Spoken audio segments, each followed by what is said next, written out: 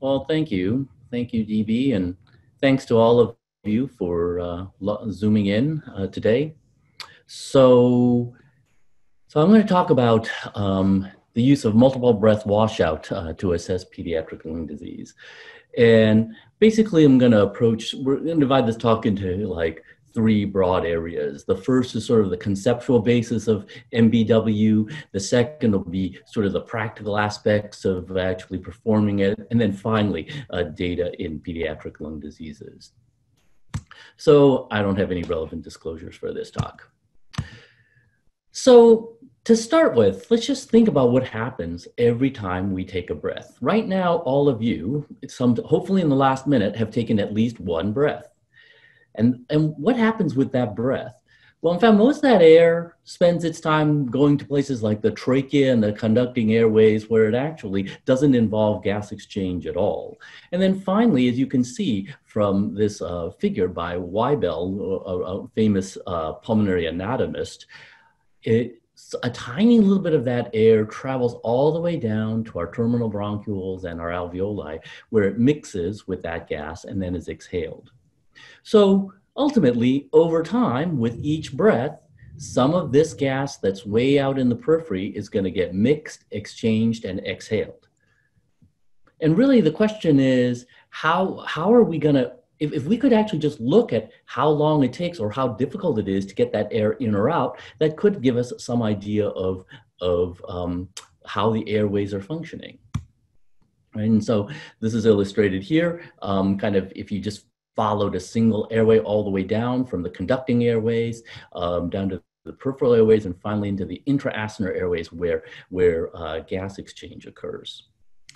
So to do that, we have to find some way to differentiate the ambient air that we're breathing from the air that's inside our lungs. And that's really the basis of multiple breath washout. So one thing you can do is you could fill the lungs with a gas that typically isn't in ambient air, i.e., oops, I have this, uh, I hate it when I do this. Sorry, I'm gonna have to, this thing got set as a default to um, timing and I don't want that.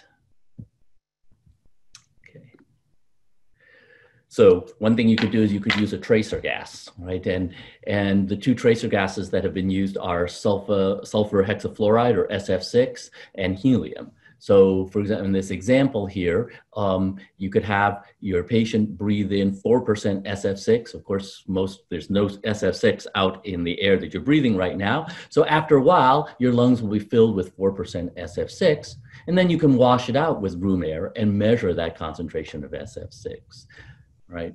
By the way, this reference, Paul Robinson um, in Respiration, is like a fantastic review article uh, if anybody wants to read more about MBW.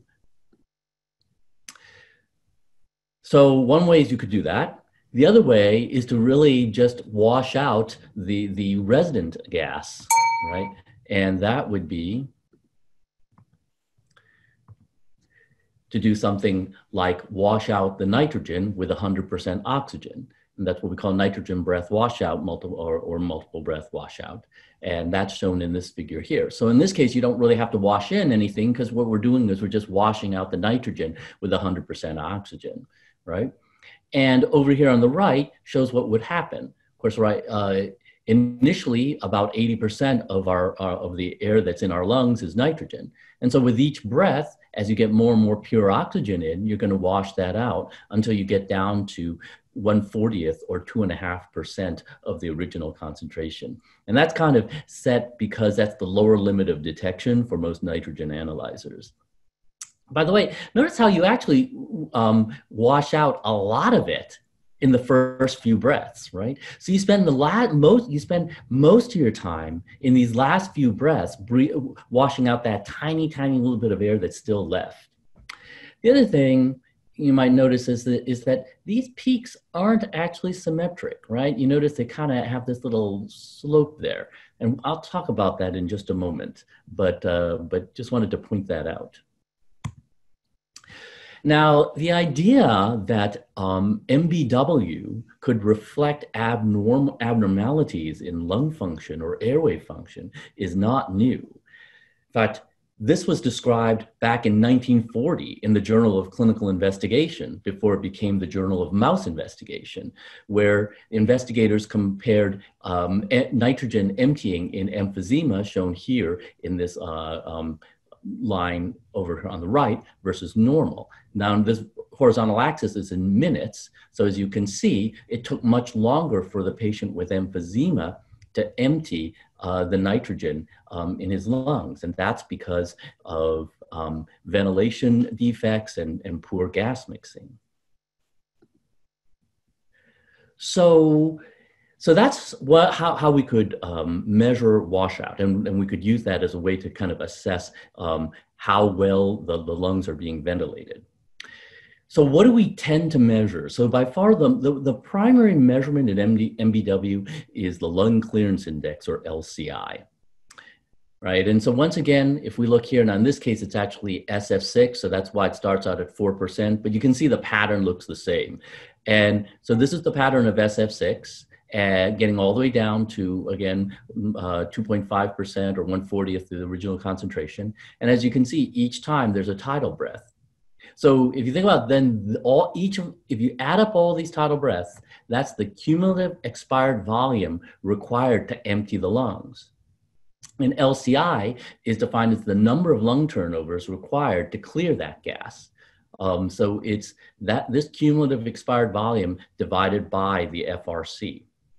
So a couple of key things, because cumulative expired volume is a volume and FRC is, of course, a volume. That means LCI is unitless.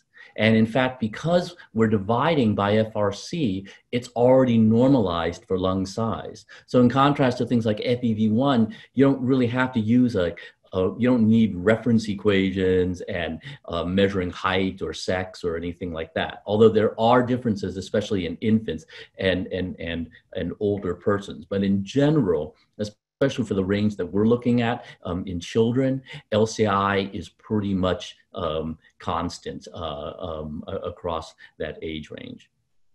And so if you think about it, the more breath you have to take, the more your cumulative expired volume, the higher your LCI will be. So, so a higher LCI means there's more ventilation inhomogeneity. So in contrast to something like FEV1, a higher LCI is, shows more lung disease.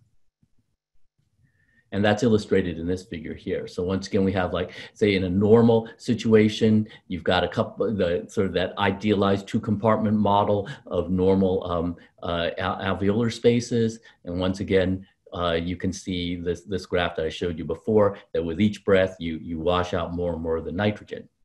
Now, if you imagine like having like a, a, a mucus uh, plug here or it's not shown here, but let's say that this alveolar um, unit was somewhat emphysematous and had uh, was very high compliance so that it didn't empty well, had a high time constant. This unit is not going to mix as well. It's going to take longer to, to, uh, to empty out and exchange all this air. And that's reflected in, in, in the um, nitrogen concentration curve. Whereas you can see, again, just like in that 1940 JCI paper, takes longer to empty all the way down to 140th. And, and each breath is, is more expired volume, so it's going to increase your LCI. And again, even the concept of LCI is not that new. Uh, once again, in the JCI in 1952, Ward Fowler, who uh, developed also the Fowler method, um, was describing um, a, a, clearance index um, in patients with emphysema that was abnormal. So really for most of this talk, I'm going to be talking about LCI, but I do want to mention a few of the other measurements that um, are um, also use that you might come across. So one is what people tend to call LCI 5.0, and that's actually the number of lung turnovers required to reach 120th of the original concentration. Because there's nothing magic about 2.5. Like I said, it, it, really was set because it was the lower limit of detection for, for nitrogen analyzers. Um, so you could just look at how long it takes to um, empty 95% of, of the nitrogen. The advantage of LCI 5.0 is that it's faster to measure than LCI 2.5, right? Because you don't have to wash out all the way down to 2.5. And remember, again, like you spend a lot of time, you spend a lot more breaths actually having to get from 5 to 2.5% than you have to have to go from 80 to, to 5%. That means that it's easier for young children to, to perform because they don't have to be breathing in and out um, uh, on, on the device as much. Um, and, and so it has some advantages, but um, LCI 5.0 has been compared to 2.5, and it's probably a little less sensitive at de uh, de uh, detecting early uh, disease. The other two measurements I'm going to go into just a little detail, but not a lot of detail. Again, just so that you're familiar. And, and the, the, fir the first of those is what we call the normalized slope of phase three, um, which can then um, uh, be used to calculate these two measurements, S-cond and S-acin, which are the convection dependent inhomogeneity regions and the diffusion convection interaction dependent inhomogeneity regions. I know that's a mouthful. That's why I have a, a figure that I hope will explain that a bit more clearly, as, and then moment ratio analysis. So let's talk a bit, what is the normalized slope of phase three, um, also abbreviated SN3? So remember I showed you when I when, when we looked at those uh, the, those um, washout curves, the peak on expiration really isn't like a symmetric peak. There's a little slope, right? And in fact, if you just did a single breath washout where you had somebody in, inspire 100% oxygen and ex exhale it, this is the the the um, pattern you would see right? Uh, and, and initially, when you exhale, you're exhaling tracheal and large airway um, uh, gas, right? And so that's why it very quickly um, uh, rises. And then what phase three is considered is, is basically um, uh, due to alveolar um, emptying. And that's why it, there's actually a, a slope to this because it's sort of gradual. And then finally, you hit the closing volume right? So phase three of this uh, washout curve represents the emptying of alveolar gas. And to calculate the normalized slope of phase three, the, the slope for, for every one of those breaths, the phase three slope is actually calculated using linear regression. And then each breath has to be normalized. That's why they call it normalized because, because remember, each, each breath has a different gas composition because it's not it starts out at 80% nitrogen but then later on it's going to be like 60% nitrogen and 40% oxygen and so on and so forth right and then what you do is you take the average of those and that's what's meant uh, as the normalized slope of phase 3 or sn3 you can then use that to calculate these two other variables that I just mentioned, S-cond and S-acin. And the, they have very long names, but this is conceptually what they reflect, right? So that S-cond, slope of phase three in the uh, conducting in the convection dependent areas basically represents the the um, the slope in these conducting airways right? Which actually don't participate in gas exchange. And really gas flow through there is essentially convective Whereas S-acin, so you kind of think about it like acinar or alveolar, right? It also takes into account the, the, the diffusion uh, uh, uh, part of, of gas transport. Okay. And then, as I mentioned, another um, um, measurement that's used is the moment ratio, right? And so moment ratios, um, basically, so if, if you were, as this figure shows, if, if you were to actually just look at each breath, so on now on the, on the um, horizontal axis is actually breath, and then um, on the vertical axis is nitrogen concentration, you could actually get the total area under the washout curve, and that's what's called M0. You can then actually set different cut points for different dilution numbers, which then can be termed M1, M2, etc. And basically, the ratio, that's why they call it a moment ratio, of say M1 to M0, then is a value that you can look at that will also be increased with ventilation inhomogeneity. So this is a this is a test that again not you can't routinely calculate it. Um, so it's usually it's, it's most definitely been used in research. Um, it, it, there there have been some studies, in particular a recent study out of the Toronto group um, that suggested that it can be more sensitive at detecting early ventilation defects than LCI. Um, but right now, it's really not something that people use on a regular basis. Just wanted to mention it so again, in case you come across it or hear about it, you're at least familiar with it. So that's some of the conceptual basis of of MBW and calculation of the lung clearance index. So what are some practical considerations? Well, one thing is what tracer gas to select, right? And, and in general, there's about, as I mentioned, these three uh, choices, SF6, helium, and nitrogen. And each of them has their advantages and disadvantages. SF6 was widely used, especially early on, like in the early 2000s, when, when MBW was kind of resurrected to calculate the lung clearance index. And really, um, traditionally, um, this really required a mass spectrometer, which is again not something that's practical to use um, um in, in, in, on a clinical basis for sure, but even in research labs because it's really expensive and very finicky. Um, there are other ways you can do it now through infrared and other things. So, so that's not really um, kind of a drawback anymore.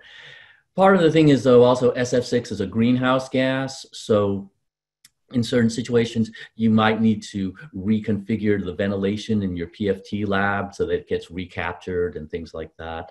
So um, in general, especially in the United States, there's not a lot of people using SF6.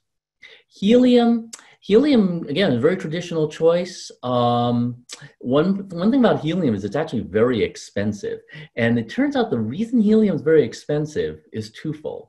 Number one, you actually need to use helium in all those like um, um, explosive detectors. So like for, for, for Homeland Security, they're using up a ton of helium. Secondly, helium is actually really hard to get. Mainly, most helium is actually um, generated or, or, or, collected from nuclear weapons decay. Um, and so it's not really an easy thing to get. Uh, and right now, um, helium, yeah, is very expensive. Um, also, it's difficult to find a helium analyzer that um, that is precise enough for for this sort of of um, uh, sorry um, application. So in general, people have not been using helium for, for, um, for MBW LCI measurements. Interestingly enough, right, people use helium a lot for like, well, we use it in DLCO to calculate alveolar volume, and we also use it for FRC measurements. But but it hasn't really been adapted much for for for LCI. So then that leaves nitrogen course, as I've mentioned, one of the advantages is nitrogen is twice as fast because you don't need to do a wash-in period. That has great advantages, especially when working with young children. It's obviously, well, nitrogen is in the air, so really all you need is oxygen, which is pretty widely available. There are a couple of things about nitrogen, though, to keep in mind. The first is that in theory, in contrast to something like helium and SF6, nitrogen's not truly inert. Um, it does diffuse across the alveolar uh, uh, capillary membrane. Um, and so there is potential for some degree of error um, um, using nitrogen washout. There's actually, I didn't put it here, but Daniel Weiner has actually uh, published a paper about that. Um, again, whether that's how relevant that is, um, is, is, clinically or even from a research standpoint isn't necessarily clear, but it's most definitely a theoretical concern. The other issue with nitrogen is that um, most people, I mean, nitrogen analyzers also are a little bit finicky and unreliable, and they're very noisy. Um, so it's kind of like um, frightening to kids. So, so in it turns out that nobody actually measures nitrogen directly. It's all all measured indirectly, as I'll uh, show you in a moment. So.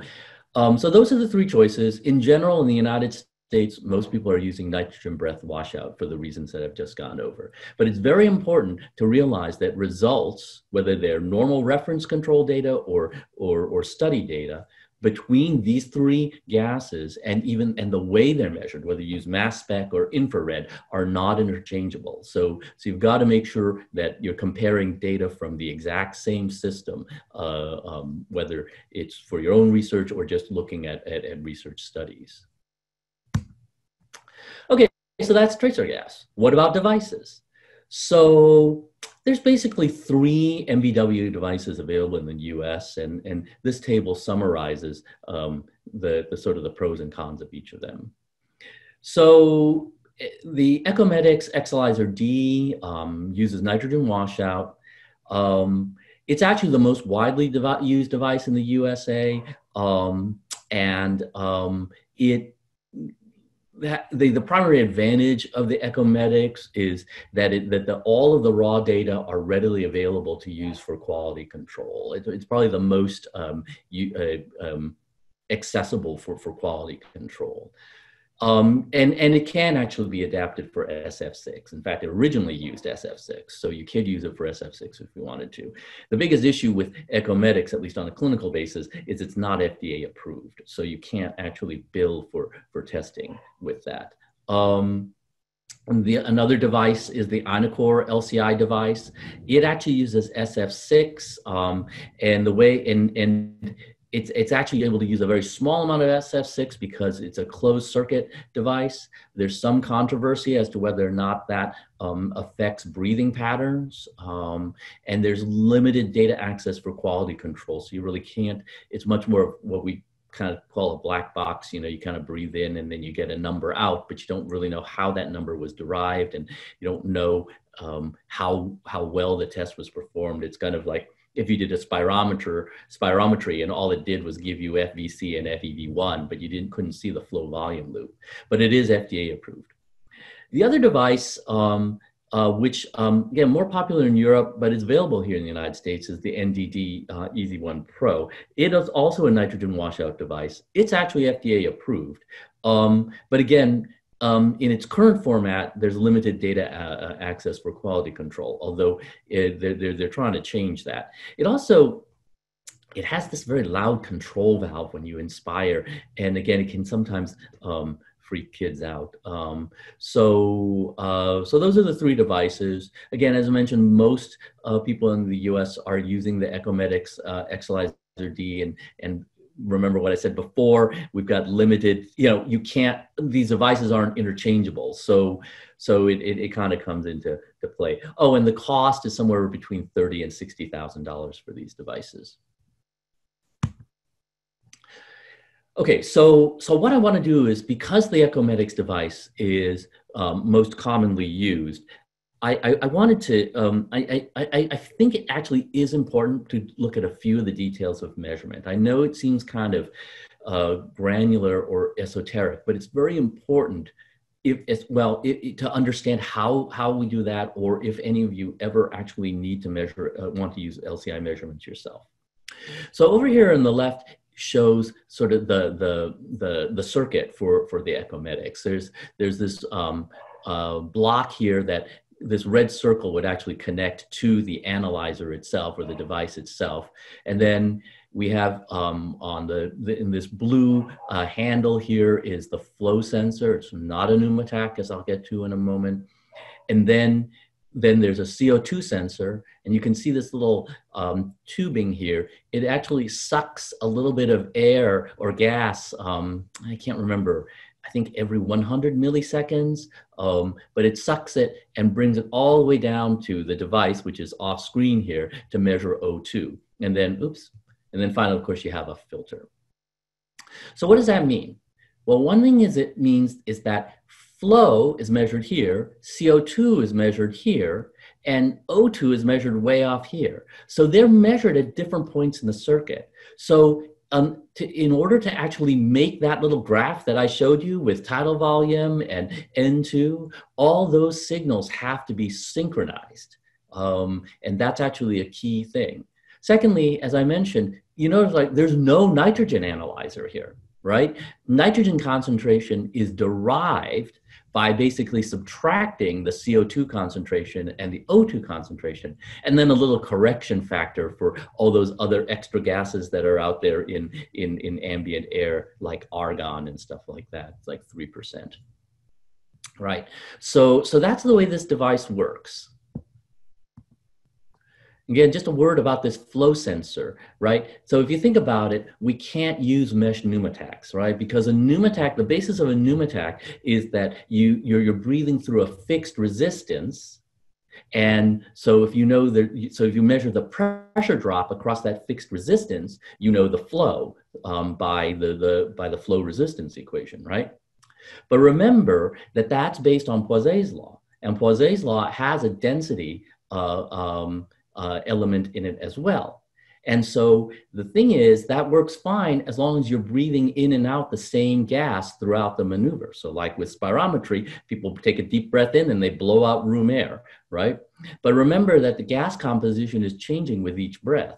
So, therefore, you can't use a pneumotach. So all this, the Ecomedics and actually all these devices basically have to use ultrasonic transducers um, as a way to measure flow.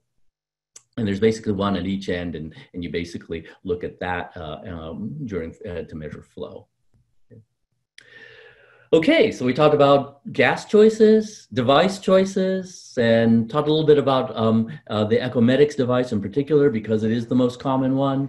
Um, you, there's one other choice when it comes to children, and that is how you're going to interface the device with the child, right? Because you can basically use a mouthpiece and nose clips, or you can try and use a face mask. And again, like all these choices, they have their pros and cons, right? Um, the with a mouthpiece um, sometimes kids will chew on it so that that kind of causes a distraction with a face mask there's nothing to chew on so you can avoid that um, the, the one thing about um, the face mask is you don't really know what the dead space is. I'll, I'll, I'll, show you some pictures about sort of how we try to minimize dead space, whereas of course with a mouthpiece, you know exactly what the dead space volume is. Um, mouthpieces um, require the child to uh, or patient and uh, actually uh, to keep a seal around the mouthpiece and the mouthpieces they're very interesting mouthpieces and again um, they well they're they're interesting mouthpieces. Like if anybody has ever done like scuba diving or snorkeling you know how you got that piece and then there's little there's these little stubs that you kind of bite down on? That's what the mouthpiece looks like. Um, and they do make small ones um, but but again even the small ones can be kind of big for little children. Um, in contrast as you'll see how we do the face mask um, the, the leak uh, is, is a little bit more operator controlled. Um, and, and then of course, uh, with a mouthpiece, you don't have to worry about the upper airway, but obviously with a face mask, you never know how much, you know, they could be breathing through their nose and you can't completely control that. So there's pros and cons to both. Just got to decide uh, one way or another. And this kind of illustrates uh, sort of uh, the, the two ways. So you can see with a face mask, um, so once again, here's that circuit. So kind of mentioned again that we have the flow sensor here, CO2 sensor here, and then we got the tubing that pulls off the O2 sampling here. And you can see there's this face mask and this gray stuff here is that therapeutic putty, just like we use for infant PFTs to make a good seal around the face. And you can see that our, our RT is very intently watching and making sure that there's a good seal. And then contrast mouthpiece is kind of your, your traditional mouthpiece, but you can see it's kind of big and the, the kid's cheeks are puffed out because there's this big flange uh, that, that, that he has his mouth around. And that sometimes they start salivating a lot and they have to stop and then you have to do the test all over again. And so here's just a detail of, of the face mask. As I mentioned, we, we put uh, therapeutic putty around the edge of the mask and usually try to fill the inside to minimize the dead space. But but uh, th- this obviously is not quantitative, so, so you never know exactly what the dead space uh, amount of, of, of, dead space um, uh, is in, in a face mask. All right. So what's so then? So now we talked about sort of devices and and and and, and, and gas and masks. So once you do all that, how do you know? So just like with spirometry or any PFT, right? Quality control is critically important, right? Uh, this slide um, summarizes some of the major quality control criteria. And once again, Paul Robinson le has led both the pediatric as well as preschool uh, um, MBW uh, guidelines uh, shown um, in, the, in the references there. So one thing is you have to have fairly steady tidal breathing. I said fairly because it doesn't have to be as good as the pictures I just showed you, but but it, it but it has to be somewhat steady. Mo most importantly, it's got to be even um, because if you keep having varying um, and expiratory levels, it means your FRC is is varying, which is a problem. Obviously, you can't have a leak. Um, obviously, no, no laughing or coughing. Um, I've already mentioned how it's very important that the flow CO2 and O2 signals are synchronized.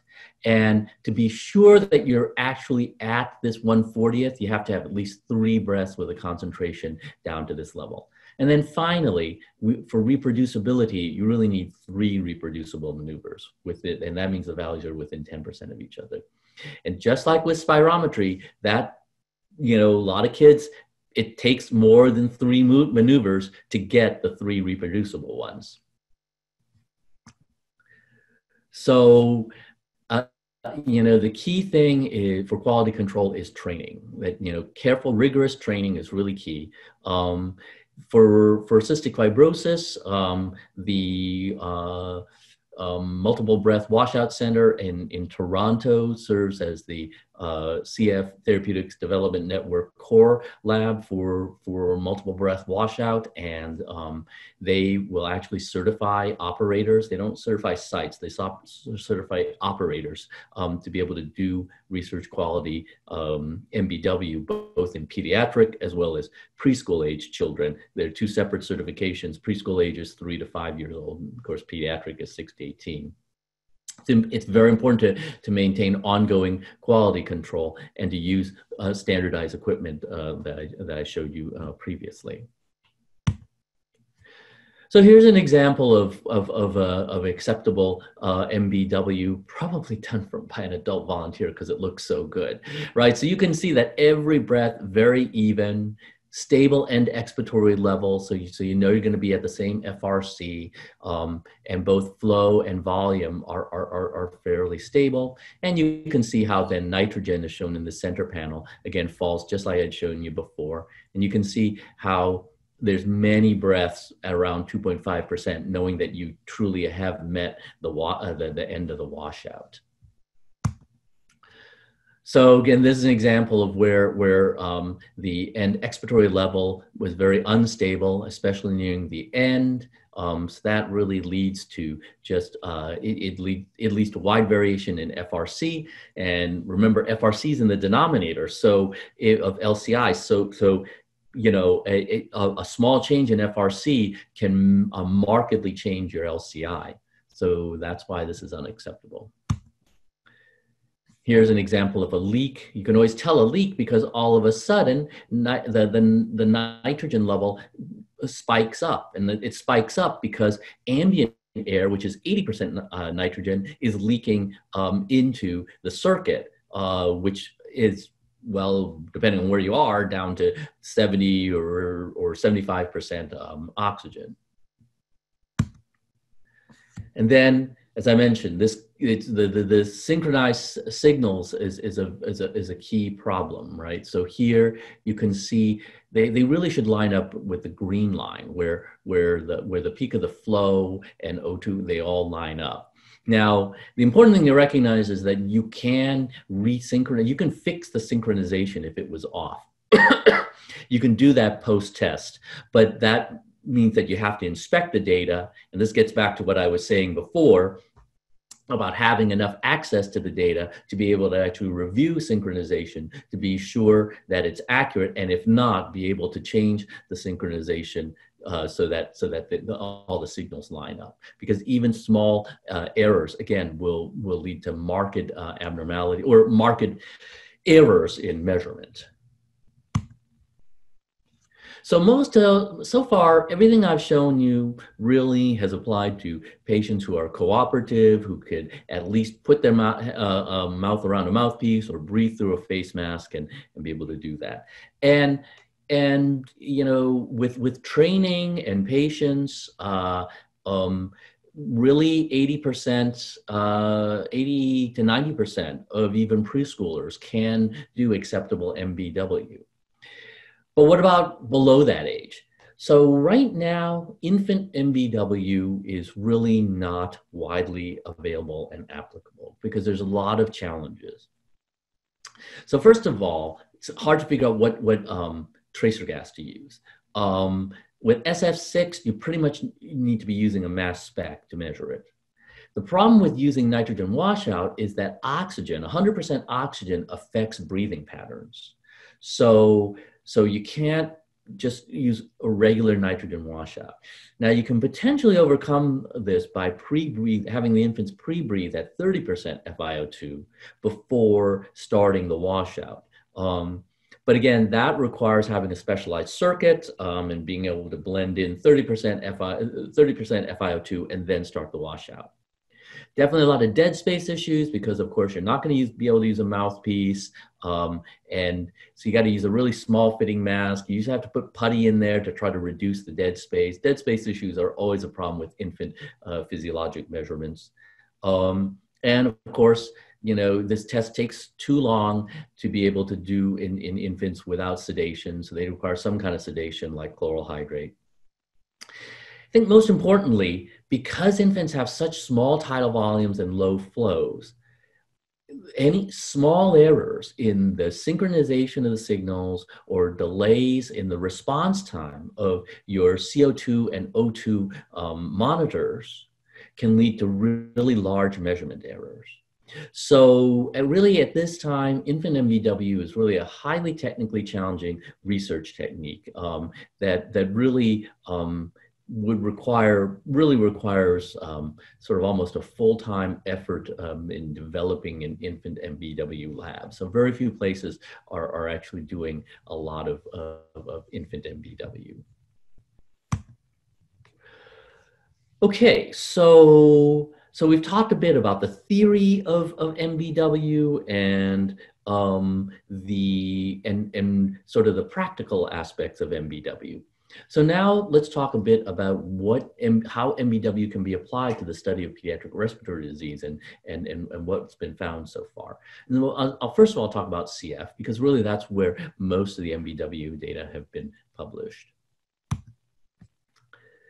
So so, so really, as I mentioned, by the early 2000s, um, it was clear that, that using um, MBW and measurement of LCI in children with CF identifies disease and is much more sensitive at identifying disease compared to spirometry. So in this study performed by Per Gustafsson, one of the pioneers of, of LCI measurements, um, he and his colleagues measured LCI and FEV1, or well, really spirometry, in a cohort of, of children with cystic fibrosis, um, ages 5 to 20.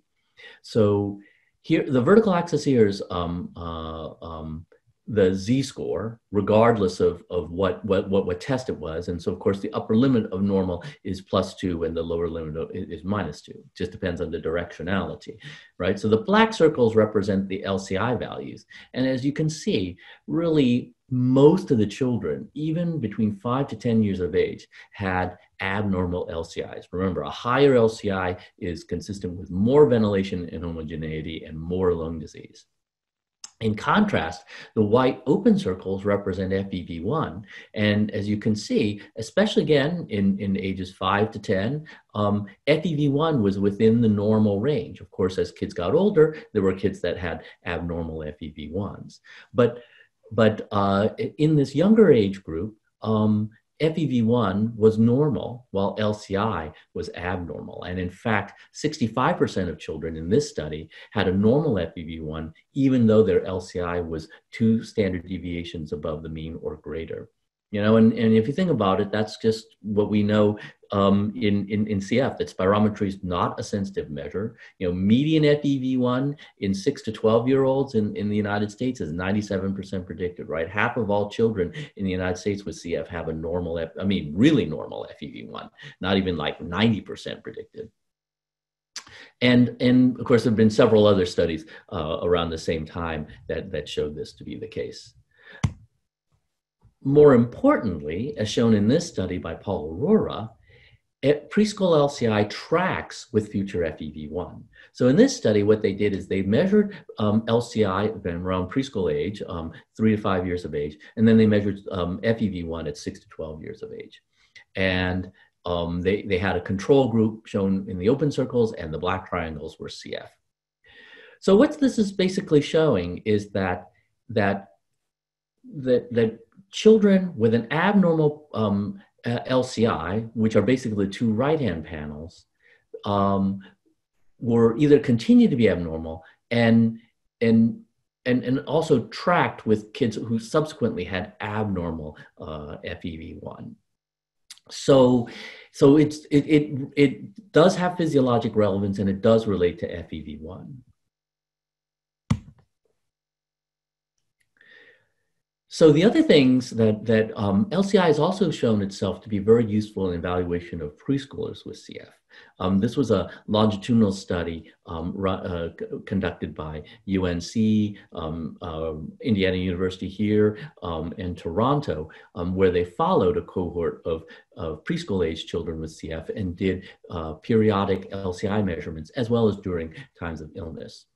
So the first thing you can see over here on the left, this is LCI um, from three to six years of age.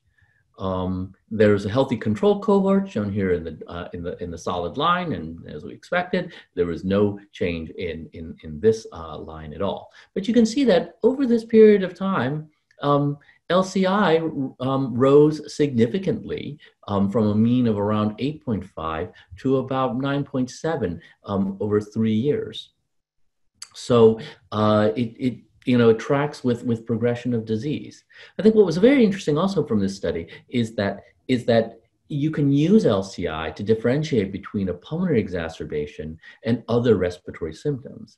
So um, in, in, in this um, slide, in this figure, it, it shows kind of the distribution of abnormality, ab abnormal LCIs or, L, or LCI um, in three different situations. Children presenting just with upper airway symptoms, a cough that was deemed not to be pulmonary exacerbation, and pulmonary exacerbation.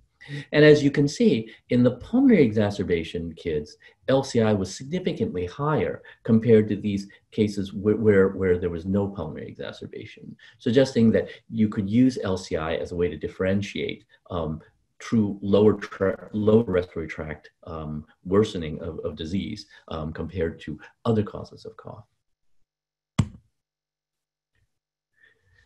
LCI has also been shown to be sensitive as a sensitive measure um, of treatment response.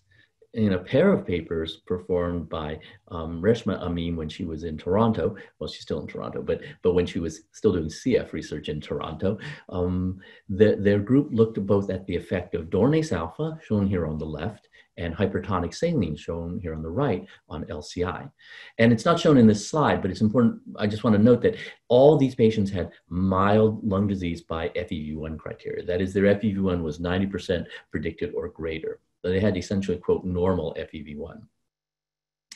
And as you can see, um, so in the Dornase alfa study, it was one of these randomized crossover studies. So that's why the, the, the, the same group, they got placebo where there's really no difference. And then um, DNA shown here on the right-hand side of the figure. And and it kind of try they, the, the way this is graphed it's like every every patient but overall the mean um, uh, uh, lci dropped by about one unit and actually, in the hypertonic saline group, uh, the, uh, this was just a, a straight um, RCT. So, um, so this is the hypertonic saline treated group. These are the individual curves, and over here on the right is the um, mean drop. Once again, there was a tr the treatment effect was about one LCI unit, which is kind of turning out to be what most of these treatment effects are. So LCI um, can also be used as a way to measure um, treatment response, especially in children um, with a normal FEV1. So um, I, I, I, there's, as I mentioned, there have been a lot of other um, MBW uh, studies in CF. Um, I didn't list all the references here, but I, LCI um, treatment response has also been looked with ivacaftor as well as hypertonic saline in infants and preschoolers. And again, in all those cases, um, there's a significant reduction in LCI with treatment.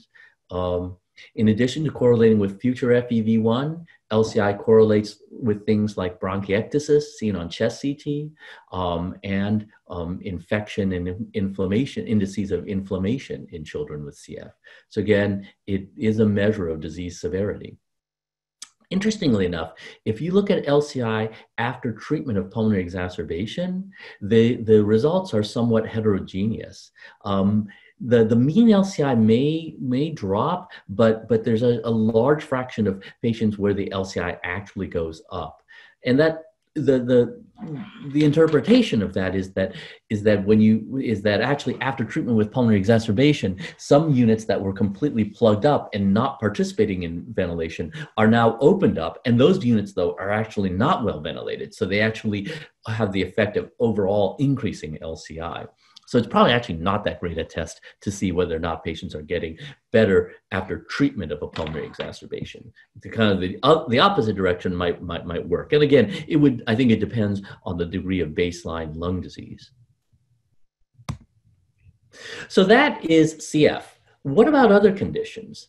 Well, again, there's actually um, not as much data, but but the interesting thing is the, the, the, the results are probably less dramatic than we see in CF. So in, in this study um, of children with, with um, well-controlled asthma, um, the authors looked at a variety of, of measurements. Um, and, and over here in the center column is the controls and um, over here is, is asthma. And as you can see, there was a sig- statistically significantly higher LCI um, in the children with asthma, 6.69 versus 6.24 but but you know that's actually a pretty small difference and it's not like what you see in cf where lots of kids have lcis of like 8 9 10 or even 14 um, and and and so it's statistically significant but but rather minor but it is also interesting if you look at the pattern of MBW and asthma versus CF, it's slightly different. And, and again, that might give some hints about sort of the differences in underlying pathophysiology. So in this study, uh, again, led by Per Gustafsson, um, they conduct, they performed LCI in a group of children with asthma and a group of children with CF. So over here on the left-hand side is the LCI results. So once again, you can see that there was a statistically significant um, uh, increase in LCI in the children with asthma, and it actually fell after bronchodilator, uh, shown by the by the white column. But I just focus on the black uh, uh, uh, bars for right now. But again, you can see it's really not that huge. Um, whereas again, it was much higher in the patients with CF. But interestingly enough, when they looked, when they kind of compared those two other measurements I talked about, S-cond and S-acin, you saw a distinctly different pattern uh, where S-cond, right, which reflects kind of ventilation in the conducting airways, um, you saw a, a much higher um, uh, uh, abnormality in, in asthma as well as cystic fibrosis. And, and, and here, the asthma um, S-cond was actually not that much different than, than in CF. Whereas when you look at S-acin, which again is sort of those distal airway um, where diffusion also plays a role, you can see that in fact, this was not statistically significantly different in asthma, whereas it remained abnormal in CF, suggesting that um, CF, uh, the part of the pathophysiology of CF really does involve much more the distal airways, the very small airways, and mucus plugging or, or, or even uh, partial obstruction by mucus that contributes to impaired diffusion and ventilation. So, um, okay, so then finally, let's look uh, at a couple more conditions. So, um, in PCD, this this um, PCD has also been looked at, and as shown in in this study um, from a few years ago from uh, um, thorax, so patterns kind of more like cystic fibrosis, right? The the uh, PCD patients had a LCI of 9.48 versus 7.1 for for the um, uh, healthy controls. The z score was 3.58, so markedly elevated. And similar to CF, a, a, a, large fraction of patients with a normal FEV1 had an abnormal LCI. And, and, more recently, in a paper that's actually still in press in Annals of ATS, um, the, the investigators compared um, LCI and FEV1 in CF and PCD and showed that really uh, in both cases, um, LCI was abnormal and more, more, more commonly abnormal than FEV1, suggesting that you could use LCI for both these conditions to identify um, impaired lung, uh, lung function. And then finally, what about in preterm children? So Again, so the interesting thing is in, in, in, preterm children, it doesn't seem to really be as marked an abnormality in, in, in MBW. Um, in this study, um, they, they, studied children 6 to 16 years of age. Now, they didn't, it was like any preterm child, so it was pretty broad range. Um, and as shown here on the left, you can see there's really not a significant difference in LCI. Um, and the, and similarly, actually, S-acin was was was uh, um, uh, similar across all three groups. S-cond was a little bit higher um, in the preterm infants, although again, not markedly. Um, so again, and that's so that suggests again that that that um, there might be some um, mild conducting airway abnormalities, at least detected by MBW, um, but but not uh, but it's not marked. Now, in the Epicure study uh, shown here, this was a study of extremely preterm children. The, gestational age was less than 26 weeks, and these children were studied at 11 years of age. So over here on the left is FEV1, and so you can see like FEV1 was was not not only significantly uh, lower uh, compared to healthy controls, but but a lot lower. I mean, for the um, BPD group, it was almost two standard deviations below the mean. LCI again was elevated, um, especially in the BPD kids, but again not by a lot. I, I, wrote down here the mean numbers. So like in BPD it was 7.4 versus 6.5 in the controls. So again, not quite as dramatic as what you see with cystic fibrosis. So kind of summarize, try to summarize that in this kind of simple little table here. Um, so that basically you know, CF and PCD are conditions where we see markedly uh, increased LCI in children, whereas it's increased, it's, it's you know, statistically significantly increased in asthma and BPD, but the relative increase is, relative, is, is, is, is pretty small. So what about um, applying MBW to research and clinical care?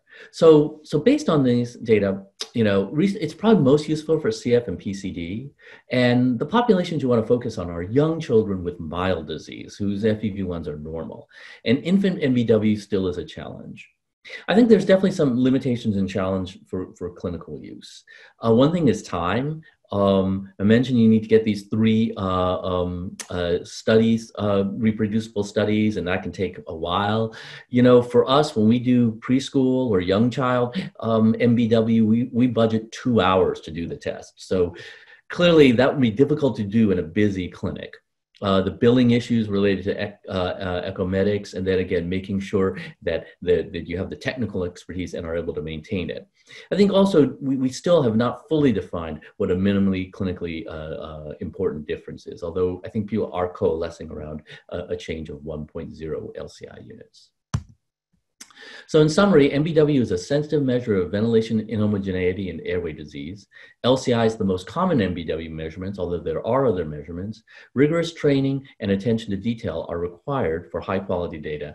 And the, the MBW has great potential as a research tool in mild and early CF lung disease.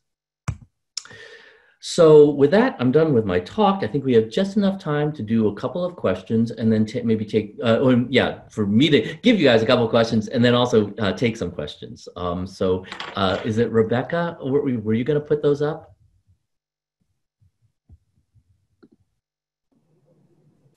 They should be running now.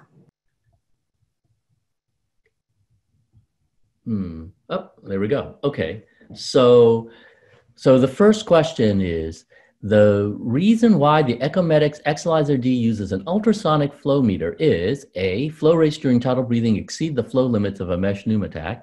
B, a mesh pneumotach cannot be used because the gas composition is not constant.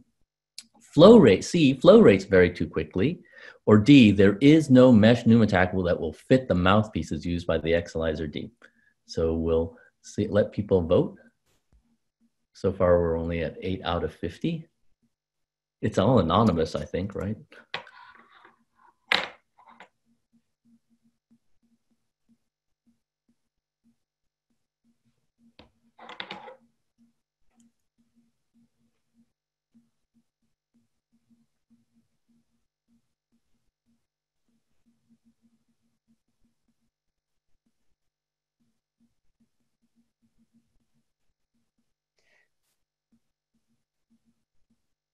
Rebecca, I'll let you decide when we should uh, uh, end the poll.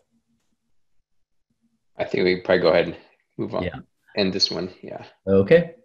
Right. So 55% of you answered B, and B is the correct answer, right? Because because you can't use use a, a mesh attack because because the density of the gas is changing because the gas composition is not constant.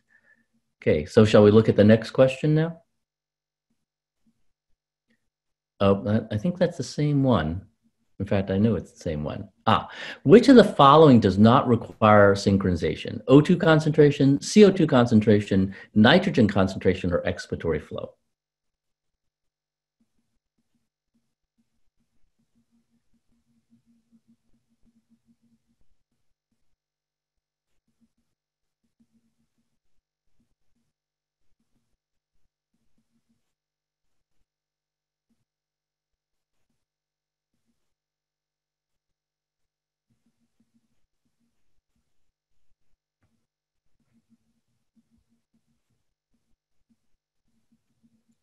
All right. Looks like nitrogen concentration is the Yeah. winner on this one. And that is correct because that's actually what we're calculating by subtracting CO2 and O2. So it's the other three signals that need to be uh, um, uh, synchronized.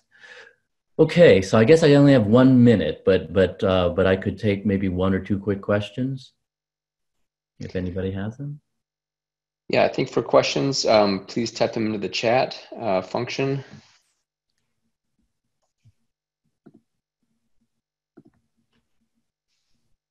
Thanks, Clement. That was really thorough discussion of LCI. Um, maybe as people are thinking, one question I have is, uh, you know, in the era of Trikafta, is it, do you think this is going to be become more useful for us as our FEV one, you know, FEV one starts to become more normal? Um, uh, Yes, I think if anything, um, we're going to need more sensitive measures of, of uh, early and mild lung disease. Um, and whether that's uh, LCI or um, other, you know, imaging measures, you know, part of the challenge for all these things will be time and the, the time it takes to do the test. So at, at least, you know, for, for clinical uh, care. you know and and people are actually there there are actually ways to do single breath washout um but again right now that's a that's a research test